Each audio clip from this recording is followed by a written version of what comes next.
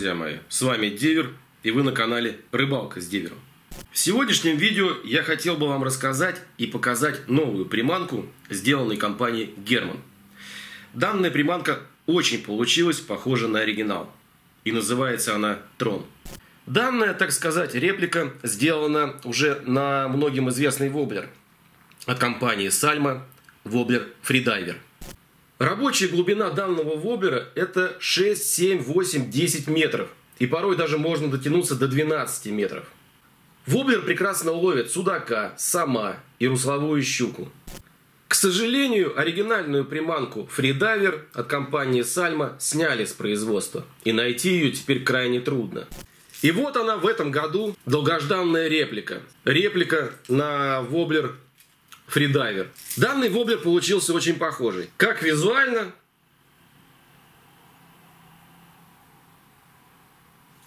так и по шумящим своим характеристикам.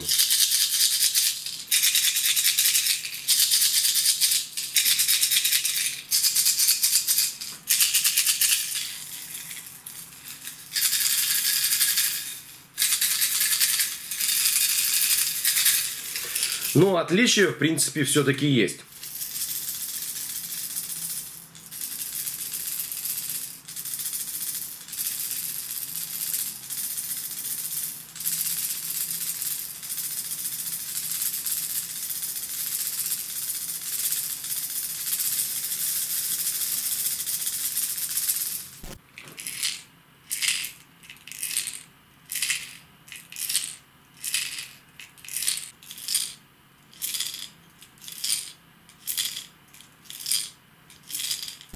Это копия, реплика.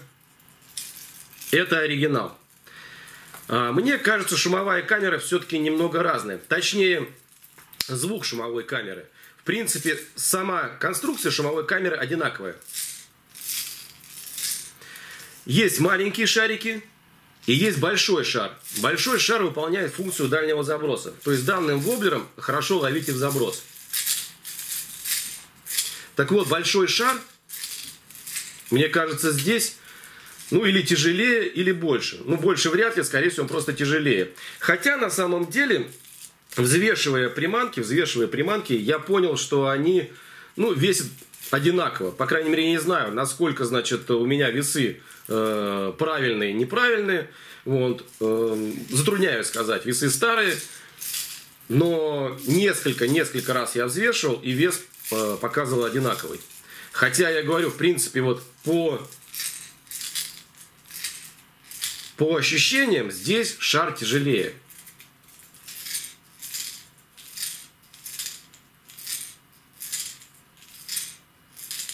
Здесь прям такое ощущение, что маленький какой-то шарик туда-сюда катается. А здесь прям увесистый. Визуально данная приманка идентичная. Компания Герман сделала очень похожий воблер, чему я безмерно рад. Одинаковые лопаты. Высота петли тоже одинакова. Расположение ее очень похожее. Сами петли воблера довольно-таки толстые. Такие же, как у оригинала. Я лично очень давно ждал реплику на эту приманку, так как оригинальная приманка ну, стоила довольно-таки приличных денег. У нас в России она обходилась людям за 700 рублей, а то даже за 800 рублей и выше. Это на самом деле, ну, я считаю, для польской приманки дороговато. В том году от компании Lucky John появилась вот такая приманка. Назвали они ее Deep John – Многие рыбаки и блогеры сразу стали говорить, что это реплика, э, что это э, копия как раз вот э, на фридайвер, который мы давно очень ждали, и ура, ура, ура и тому подобное. Но если сразу вообще посмотреть и, как говорится, невооруженным взглядом э, присмотреться к приманке, то это, друзья мои, далеко не копия. Ну, начнем с того, что, допустим, у Дип Джона, который внизу, два тройника, у оригинальной приманки у фридайвера три тройника. Также, в принципе, и сама форма. Вроде бы как она похожа, но она другая. Лопата на вид вроде бы одинакова, но если посмотреть лучше, то установка петли совсем в другом месте. Вот они, три приманки, которые на сегодняшний момент могут иметь звание похожести. Deep John, но его назвать, повторюсь, копией мы не можем. Оригинал и реплика от Герман.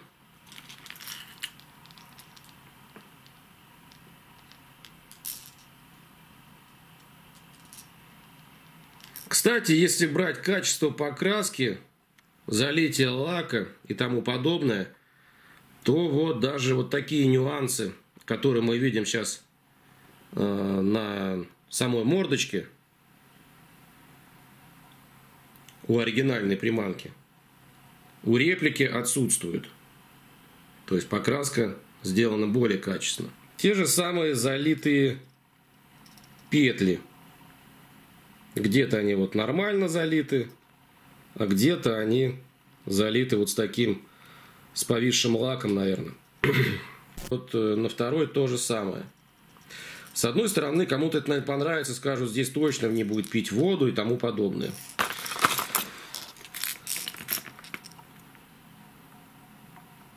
Данная приманка, вот я считаю, что сделана намного ну, идеальней. Э, у фридайвера есть э, интересная конструкция петель, э, которую я всегда очень сильно приветствую. То есть сама петля, вот эта носовая, вот она, продолжение идет, она связывает все, все, все, все, все петли с собой. То есть это одна единая проволока. И такого рода приманки я считаю, ну, очень силовыми и реально по трофейной рыбе.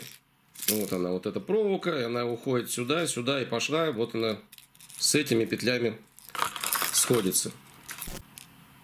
Вот здесь будет ее, наверное, получше видно. Вот она.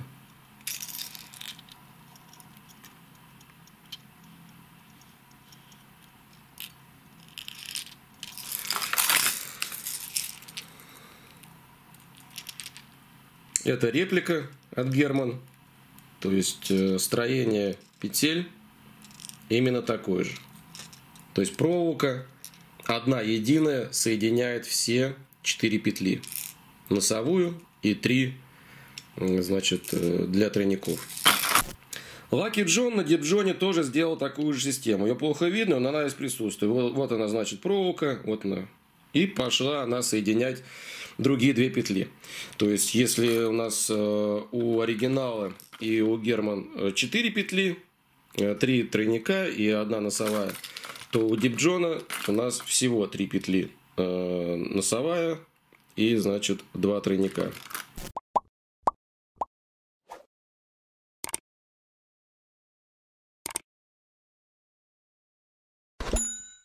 У Дипджона, кстати, стоят э, очень мощные э, тройники. Э, петли тоже довольно-таки мощные. Но колечки по сравнению с, эти, с этими двумя составляющими, я считаю, что слабоваты. То есть для такого массивного тройника, э, ну, колечко маловато. То есть сюда надо ставить хотя бы такие колечки, как э, стоят на халкообразных приманках. А у оригинала вроде бы как все гармонично. Но не считая того, что, наверное, э, сами петли данной приманки очень мощные. Выдрать их, наверное, оттуда нереально. Тройничочки, конечно, поменьше, потому что большие поставить нельзя сюда. Они будут цепляться друг за друга. Тройники и так уже касаются друг друга. Компания Герман пошла по тому же пути и сделала то же самое. Э, очень мощные петли. Я считаю, что чуть мощнее, э, чем у оригинала колечки стоят – и такие же небольшие тройники, которые тоже больше ставить нельзя, так как они уже касаются друг друга. Тройники на данной приманке стоят очень качественные. То есть так вот, простыми какими-то такими движениями они даже не разгинаются. Скажем так, данные тройники стоят реально мощнее, чем на бандитах. Кольца упругие, и довольно-таки мощные. В принципе, друзья мои, если сравнивать эти две приманки, Трон от компании Герман и Фридайвер от компании Сальма, то они очень похожи. А вообще, на самом деле, самое главное это не схожесть. Самое главное качество и самое главное, чтобы приманка ловила.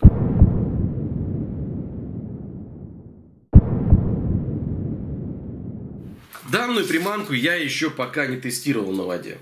Ничего вам не буду говорить. Будет она не ловить, не будет она ловить. Э, здесь э, только можно сказать после воды. Но все у ней, в принципе, аналогично с оригиналом.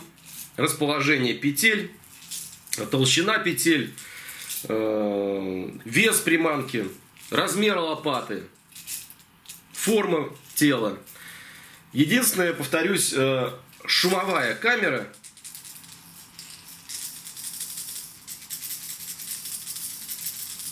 может быть чуть-чуть звучит по-разному.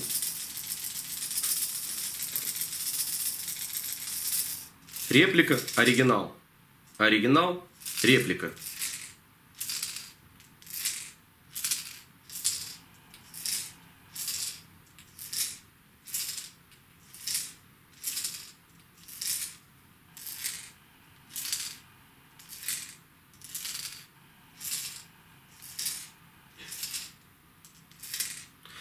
Опять же, может быть, у меня одно ухо воспринимает сигналы по одному, другое, другое по-другому. Надо распиливать, надо смотреть, что внутри. Но у меня инструмента такого нету, и распилить я э, не смогу. Вот. Может быть, кто-то из вас уже распилит и посмотрит данные приманки. Или я сделаю это, возможно, попозже, как-нибудь. В целом, и боковой есть шум,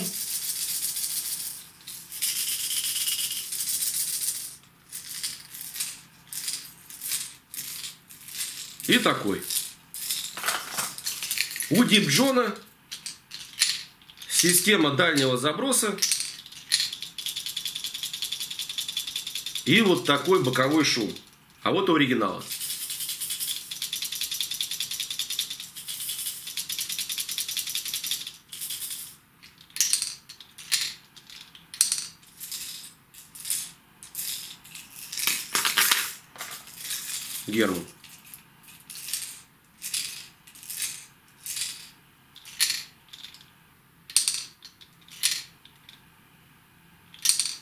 Тут, кстати, даже шарик, такое ощущение, в какую-то канавку падает определенно и, видите, сразу не сваливается.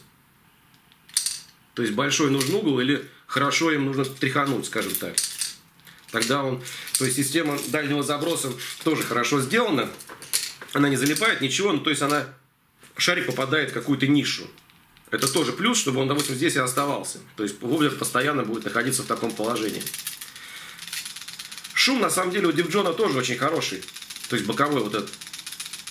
По идее, как бы должен привлекать рыбу. Но по какой-то причине Дипджон уступает э, оригинальному э, фридайверу. Но, повторюсь, это вообще две разные приманки. Я так понимаю, люди делали это совсем другую приманку. То есть, что-то взяли от э, фридайвера, но сделали свое, что-то другое. это большой риск. Итак, друзья мои, давайте теперь я э, как раз скажу по номерам, э, по цветам, э, какой воблер как называется, и покажу вам их прямо вот поближе. Как смогу, скажем так. Итак, друзья мои, беленький, белый ходок, цвет 253.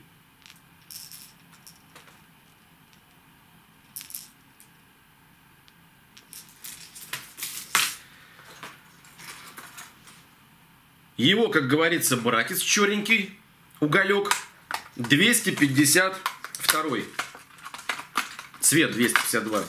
Да, кстати, друзья мои, воблера Герман стал скреплять вот такими резинками. Я не знаю, удобно это или нет, но мне, я все равно эти резинки снимаю. Возможно, для транспортировки как-то это удобно. В коробках, может быть, не цепляться, конечно, тоже меньше будут, но скреплять их постоянно резинками у меня сил не хватит. Терпения не хватит. Итак, 252 уголек. Я всегда говорил, что, значит, э, ну, черный с определенным добавлением всегда ловит. Э, почему именно черный? Сам черный цвет, наверное, будет ловить э, определенную рыбу, не всю. судака, скажем, наверное, не будет. Но на этом черном фоне стоят именно вот эти вот салатовые, назовем их желтые какие-то, вот эти пятна, да, вот. И два рыжих пятна. Э, данные пятна как раз и есть флюоресцентные. То есть весь воблер не светится, но пятна светятся под флюоресцентным, э, скажем, ну, светом. Э, мы точно же никто не знает, как рыба видит, да, и если бы, допустим, рыба умела бы разговаривать, я все время как бы об этом говорю, так э, в шутку, вот, то, наверное, бы определенные рыбаки бы ловили бы ее и пытали бы, да, и, и спрашивали там, как, чего ты видишь, какие приманки там, где рыба? и тому подобное, вот, на что ты будешь сегодня клевать. Так вот, э, мы, рыбаки, думаем, что, допустим, чем воблер ярче, тем, значит, это все круче, тем это лучше, и тем это, значит, уловистей. На самом деле нет. Это, конечно, просто все веселее, все красивее, но на уловистость это не всегда сказывается. То есть, сильно светящиеся приманки, э, как, допустим, вот давайте возьмем в пример э, серия Glow. Если многие знают, оригинальные бандиты, у них есть серия Glow. Так у меня их там довольно-таки много, этих приманок разных, рыжих, ой, это значит, какие там бывают, розовые, там зеленые, белые, там какие-то разнообразные, там желтые. Вот.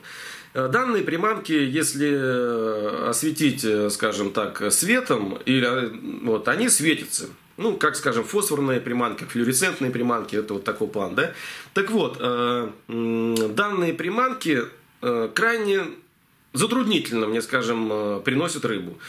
Иногда выстреливают, но зачастую нет. То есть простая приманка ну, с какими-то даже, ну скажем, вот, вот будет, будет удачный пример. Вот такого, скажем, рода приманка – Э, принесет э, больше рыбы, э, вот, допустим, от Германа цвет, допустим, да, 30, это 30, типа 32 значит, это у Германа 114, сейчас я его покажу. Вот такой цвет оригинал, как 31 это от Германа 019, сейчас тоже об этом расскажу. Вот такие цвета принесут, скажем, больше рыбы. Но вот такие цвета, с пятнами флюоресцентными э, иногда выручают. И выручают очень даже неплохо. Особенно в мутной воде, в ночное время, в сумерках, скажем так. Но, я говорю, если приманку сделать всю светящуюся, перебрать, скажем, э, перестараться с этими покрытиями флюоресцентными, то приманка перестает ловить рыбу. То есть она начинает отпугивать ее. Итак, это 252 уголек.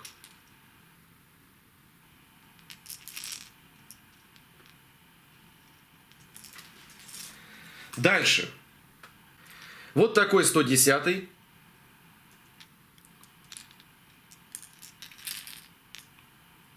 Кстати, очень-очень уловистый цвет.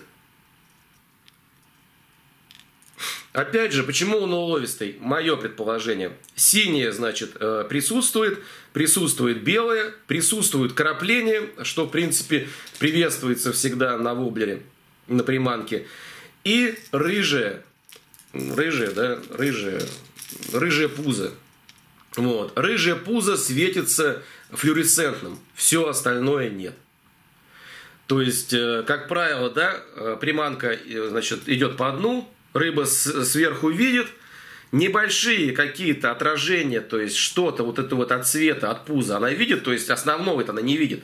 То есть, как вот раз, если повернуть его так и тащить, допустим, да, приманка с собой так шла, я думаю, что поклевок было бы в разы меньше. А здесь э, флюоресцентное покрытие внизу, оно дает какой-то ну, какой эффект, свой какой нужен, минимальный, скажем так. И рыбу это притягивает. Но если, я говорю, мы приманку покрасим, скажем, это будет спина, рыба атакует сверху, я думаю, что приманка бы ловила бы хуже. 110. Так, давайте вот с оригиналов, которые я вам показывал. Значит, цвет 0,19. Здесь я уже эти резиночки снял, для когда делал фотографии. Это под 31 под мой любимый цвет. Как бы. Ну, 31 почему называю уже как бы как классика. Это вот э, когда в свое время с, хромом хромированный воблер, э, ну, такого типа, типажа, да, э, хромированный воблер от компании Бандит. В свое время я очень любил ловить на оригинальные приманки, пока не появились качественные реплики. И, значит, оригинальная приманка от воблера Бандит меня всегда в 30 цвет, 30 в 31 цвете мне всегда приносило очень много рыбы. Единственное, здесь еще вот как бы на данном воблере от компании Герман вот это вот пятно. Тоже, ну, рыже-красное какое-то такое. Вот. Не знаю, возможно, вот опять же оно когда-то будет спасать, но когда-то оно будет именно, именно тем пятном, которое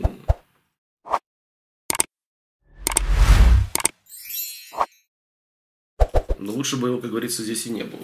Следующий, тоже близко к натуральному, это 114 цвет, э, или, как э, многие уже знают, 32 от бандита покрас. То же самое, значит, э, рыжая, значит, пузо флюоресцентное, и больше ничего флюоресцентного нету.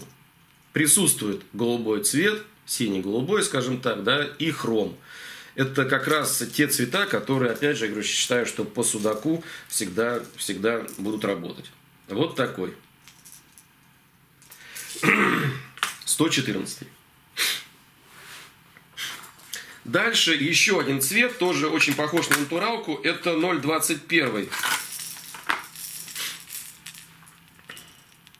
Вот такой цвет.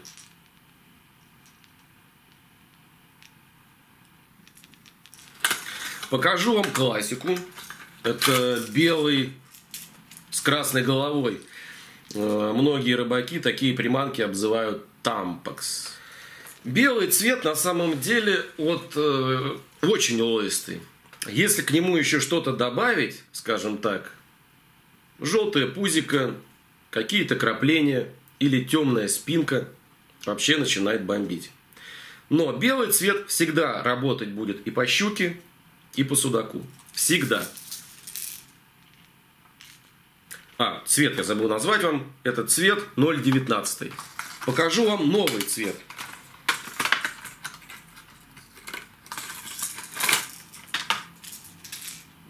Три четверки. Это новый цвет от компании Герман, который появился вот-вот-вот в 2020 году. Я считаю, что вот данный цвет будет очень очень хорошо ловить судака точно. По щуке я небольшой специалист, э, но судак, я думаю, что его э, очень полюбит. Разные, видите, э, крапления с разных сторон. Почему это получается? Я тоже, значит, задал вопрос производителю. Мне на самом деле больше нравятся вот такие крупные, но более редкие чем вот такие мелкие. Я считаю, что вот эта сторона ну, более подходит. Э, я считаю, что вот данная сторона э, подходит э, ну, больше к моему пониманию. То есть, как бы. Почему так получается? То есть, это, эти приманки красят там как-то своеобразно, и они получаются. Каждая приманка получается ну, абсолютно разные. Открывается, значит, краской, обдувается, засыхает, и когда это стягивается, ну, короче, какая-то своя технология. Получается вот своеобразный рисунок, он разный. Посмотрим, как это чудо будет ловить, но, значит, э, сама идея, сама идея очень-очень-очень-очень зачетная. Его братец не желтенький, а красненький. Многие его, наверное, будут называть вареный рак, цвет рака. Этот цвет три тройки. три, три, три, И будет дырка.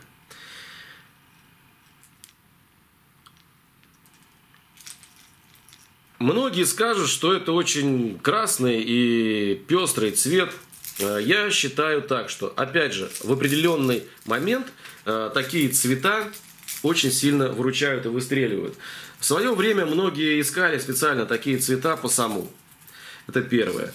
А, есть фанаты, значит, э, кто ловит щуку именно на такого плана приманки. Э, скажу больше, я считаю, что и по судаку данная приманка зайдет. У меня в свое время была американская приманка от компании, от американской компании Рибель. По-моему, Рибель, да. Вот. И она была похожего плана. Очень-очень зачетно ловила судака. Опять же посмотрим, как это будет все это дело ловить. Чуть попозже я вам покажу как раз флюоресцентность э, всех этих приманок. Я положу их рядышком, немножко притянем освещение, и я вам покажу, как это все светится. Ну, опять же, легендарный цвет 225. 225 цвет иногда просто бомбил по судаку.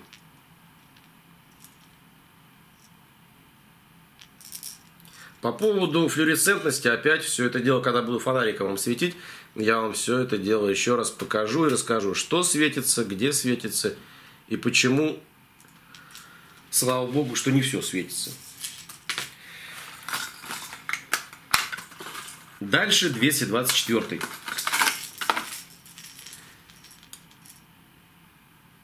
Опять же, вот, ну, голубые оттенки.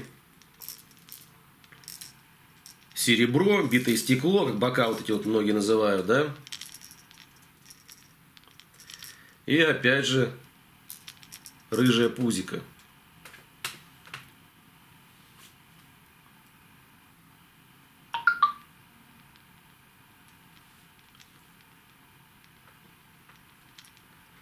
224.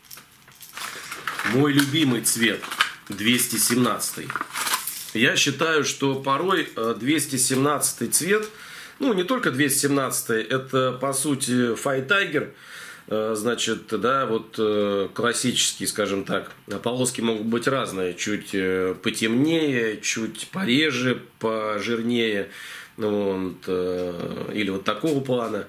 Суть одна, это опять же темная, зеленая такая, практически черная спина э, с переходом в такую зеленоту и потом с переходом в желтизну. И, значит, вот э, опять же такое вот нежное. Вот, кстати, вот это нежное розовое, ну, не знаю, рыжее, розовое, вот, это лучше, чем, скажем, ну, вот такой.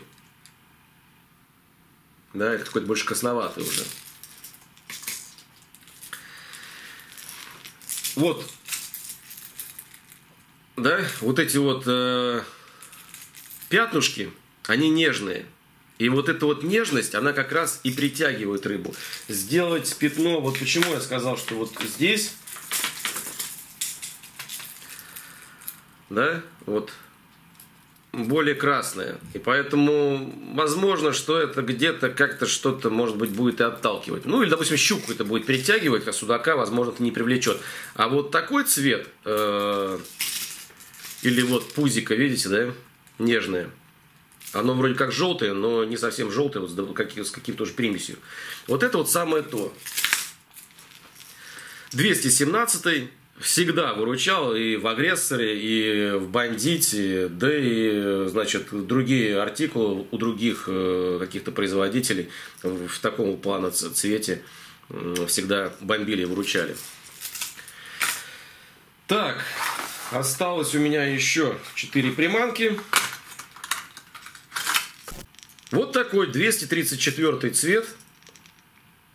Кто-то оценил по судаку, и по щуке, я на самом деле пока не оценил. Ну, наверное, просто я в него сильно не, не упирался.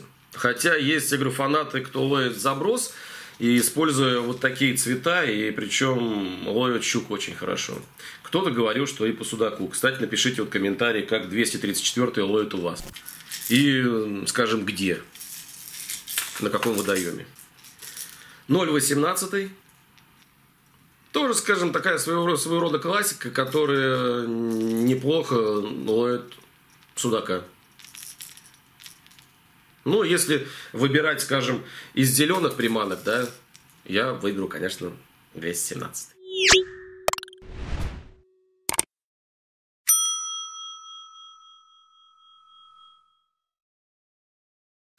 Ноль ноль седьмой.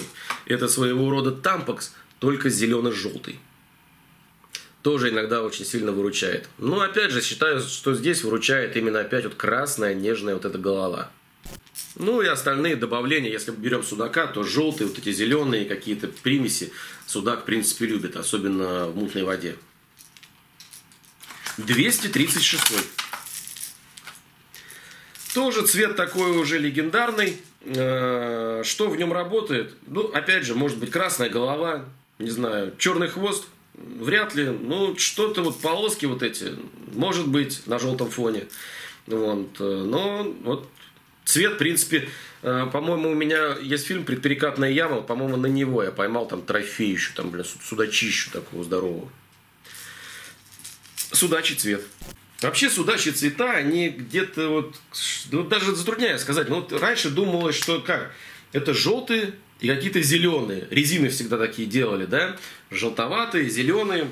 И э, если, допустим, в магазин приходишь и говоришь, допустим, дайте мне э, резину по, там, по судаку, да, постоянно будут вам давать желтые, зеленые. Потом появилось машинное масло, вот, э, белые любители были по белому, но некоторые всегда говорили, что белое это по щуке вот, но не по, судаку, не по судаку. Вот, сторонники другой, значит, другой теории говорили обратное там, или говорили там что-то другое. Э, всегда были какие-то дискуссии, споры по поводу цветов. Кто-то вообще в цвета не верит. Вот. Э, я не буду оспаривать. Кто-то верит в Бога, кто-то не верит в Бога. Да? А я лично в цвета верю. Э, верю в цвета э, не просто потому, что хочу в это верить, а потому что мною, ну реально уже как-то себе же доказано, что именно цвета э, иногда по какой-то причине, даже в один и тот же день, скажем, погода поменялась, или, допустим, ну, солнечный день, ближе к вечеру, и цвета уже другие работают. Что по окуню, кстати, я показывал вот в фильме э, да, «Безбашенная поездка» на Ахтубу, где мы там вот много ловили в заброс тоже. Э, и там вот как раз сначала ловила натуралка, потом натуралка просто выключается, ставлю кислотный, типа вот 217, вот такой файтайгер как какой-то, по-моему, от Джинспина, что, по-моему, не помню. Вот. И он начинает мне приносить окуня. А та приманка, которая до этого там, ну, весь день косила мне окуня, она перестает работать. Поэтому в цвета я верю. Э, то же самое по судаку. Ну, это не просто так. Вот у меня есть видео, где, допустим, вот реально, ну, я не знаю, что вот в 225-м судаку понравилось в одной там в один год. Э, но мы ставили разные приманки. 217 я ставил. Кстати, 217 потом работала. Но ставили там, не знаю, э, там натуралки 31 хуже работали. Какие-то желтые ставили, хуже работало там, не знаю, 110 не работал, просто не работал. А почему-то вот именно вот в таком исполнении реально работало. И не хотелось уже менять, экспериментировать, потому что нашли цвет, и он косит. Иногда вот этот черный, ну просто, значит, делает рыбалку за счет, я так понимаю, что своих вот этих вот ядовитых пятен, он просто делает рыбалку по судаку. Особенно, я говорю, там, допустим, когда это вот светать начинает, да, прям, ну, вот, э, в сумерках, скажем так. Или, допустим, в мутной воде. Э, воблер работает превосходно. Хотя вроде черный. Но, говорю, вот эти желтые пятна, они, значит, что-то дают. Поэтому разные приманки для разных, э, разный цвет приманки, я считаю, что нужно иметь у себя в коробке. И считаю, что разнообразие цветов, оно иногда позволяет э, уйти от нуля, или, допустим, как многие это говорят, вот, или просто сделать себе кайфовую рыбалку. Вот как-то так. А так, конечно, есть цвета, наверное, которые работают, наверное, всегда, ну, в 90%. Э, и достаточно иметь их. Вот. Ну, опять же, э, мы же все, многие из нас, э, воблероманы, которые э, с головкой-то не дружат. И мы всегда хотим иметь у себя новый, новый цвет. Я больше чем уверен, что уже вот за этими приманками, да, за этими цветами, я имею в виду, люди сейчас побегут. Вот они, кстати, я вам покажу. Тоже не по теме, тоже себе вот э, умудрился отхватить. Пока их в продаже, по-моему, нету. А вот бандосик от Герман, да? Вот в таком цвете. Это три четверки цвет.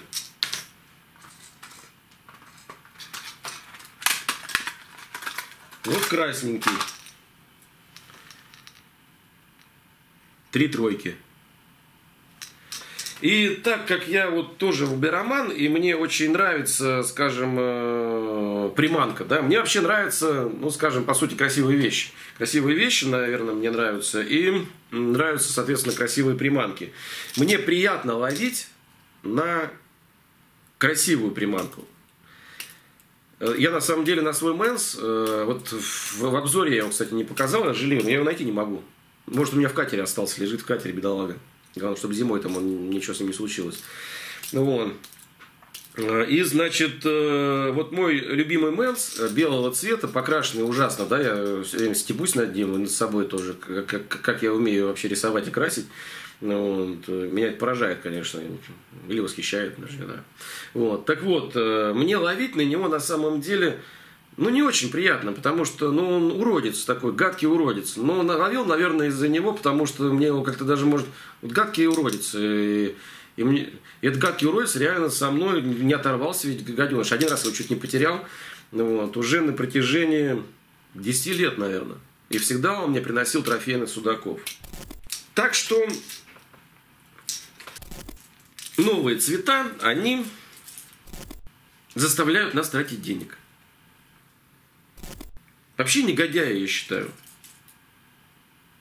Негодяи, да. Э, потому что могли бы вообще произвести 2-3 цвета и отстать от, и отстать от нас. Да?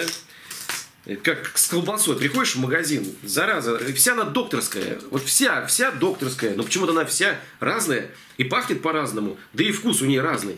Но вся докторская. Ну вот как так?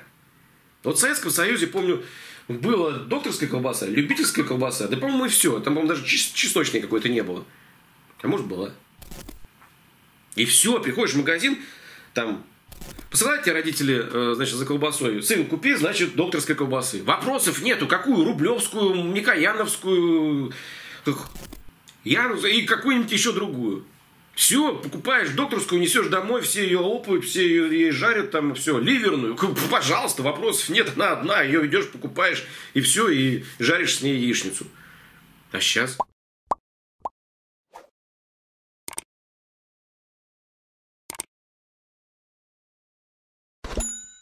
Вроде бы все они одинаковые. Вот я вам показал три реплики, по сути, да, их можно назвать репликами.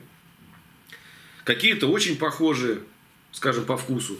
Какие-то нет. Но все они, по сути, похожи. Как-то так. Теперь я вам покажу, как они светятся. Это, друзья мои, как раз и есть 225. Видите, как он во флуоресцентном свете светится.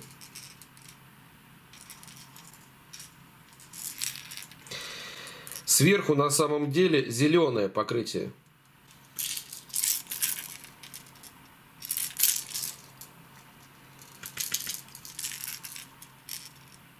Возможно, может быть из-за этого он и работает. Вот то, что я вам говорил, допустим. Натуралка под 31 цвет. И вот пузо.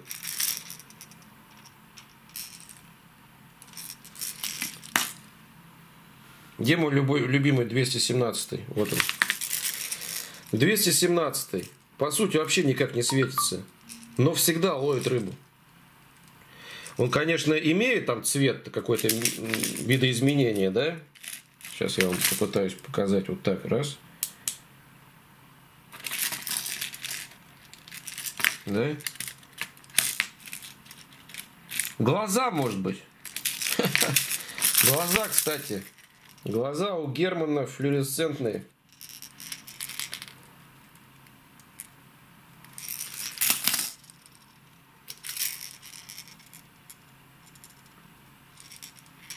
Светятся пипец как как монстры. Белые ходаки реально. Вот мой любимый, значит, цвет белый от Герман белый ходок. И он реально как белый труп вообще. Вот он как будет светиться, да, вот в флюоресцентном цвете. Косит просто судака, просто выкашивает. Два пятна. И сам он какой-то просто вот цвета становится какого-то непонятного.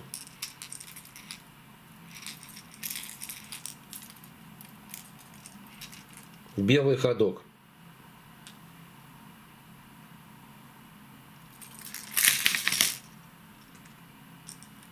Ну.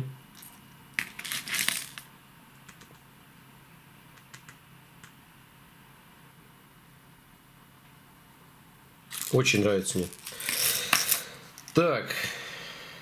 Вот, кстати, оригинал, который, э, опять же, значит, э, в этом, в том году, Сальмовский, мне просто, ну, делал рыбалку. По сути, да, но он какой-то, он не светится, он становится каким-то таким вот мертвеньким, не знаю. Красная голова становится какой-то вишневой головой, что ли, не знаю, какой-то непонятный. Вот он черный уголек. Вот эти пятнышки заветные, это просто, мне кажется, вот они и делают. И вот эти вот рыжие пятна и желтые.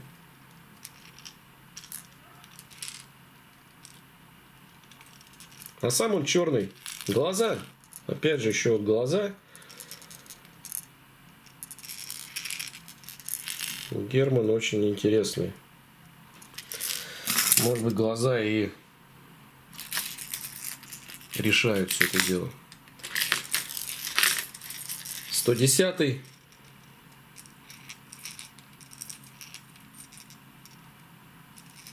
превращается вот каким-то таким. Может быть, вот этот какой-то такой цвет и... Как она рыба видит, мы же не знаем, что она там видит, что он там думает. 224, который синий, не 225, а 224.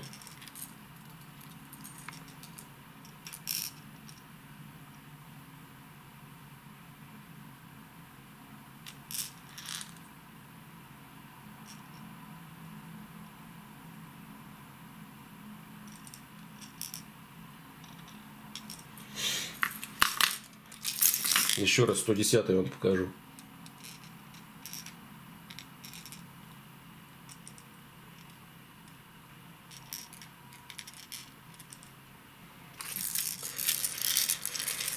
Вот и этот цвет тоже, да?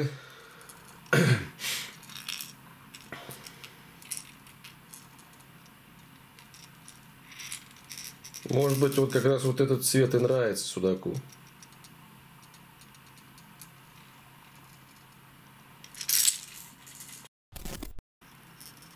И 225.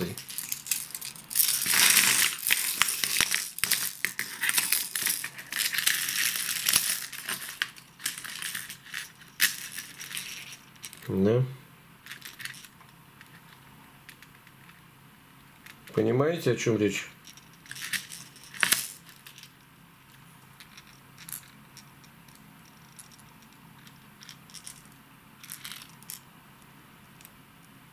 Глаза, как у трупа.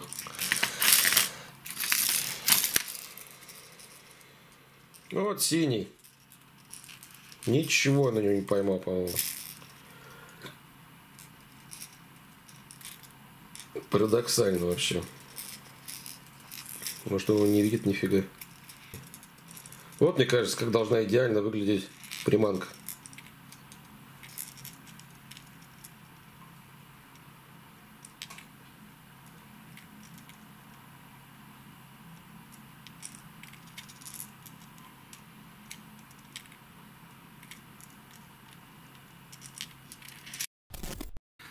Ну что, друзья мои, вот такой воблер Трон появился у компании Герман. Это реплика, повторюсь, на Сальма Фридайвер. Ну а как будет ловить данная приманка, мы вам уже покажем в апреле. И наблюдайте за нами весь сезон. В планах есть э, видео сделать э, видео сравнения. То есть оригинала, Дип э, Джона и трона. То есть показать, попробовать три приманки каких-то в одинаково более-менее равных условиях. То есть какая приманка будет ловить хуже, какая лучше, какие будут ловить одинаково. На самом деле мне самому это очень интересно. То есть мы покажем и John, и Tron, и Freediver. Вот. Постараемся сделать отдельное видео. В принципе, вроде бы все я вам показал и рассказал о данной приманке. Фурнитура хорошая, покраска на вид неплохая. Как она себя поведет под клыкастым разбойником или под чучьими зубами, или под самой щетиной, это мы уже посмотрим на воде. Можно, конечно, и ножичком поковырять, но я думаю, что это особо ни к чему. Забыл совсем сказать. Пока данная приманка не продается. Найти вы ее нигде не сможете. Первые ее продажи будут уже скоро. Но будут они на рыболовной выставке на ВДНХ, которая пройдет с 20 по 23 число. И хотелось бы еще напомнить. 22 числа с 9 до 12 я буду стоять на стенде Герман. Если есть у кого желание, подходите, пообщаемся, задаем друг другу вопросы, подискутируем на разные темы, поговорим о приманках, э, о спиннингах, э, о шнурах, о поводках, о чем угодно. Всего доброго, всем рыбацкой и жизненной удачи. Всем благ вам.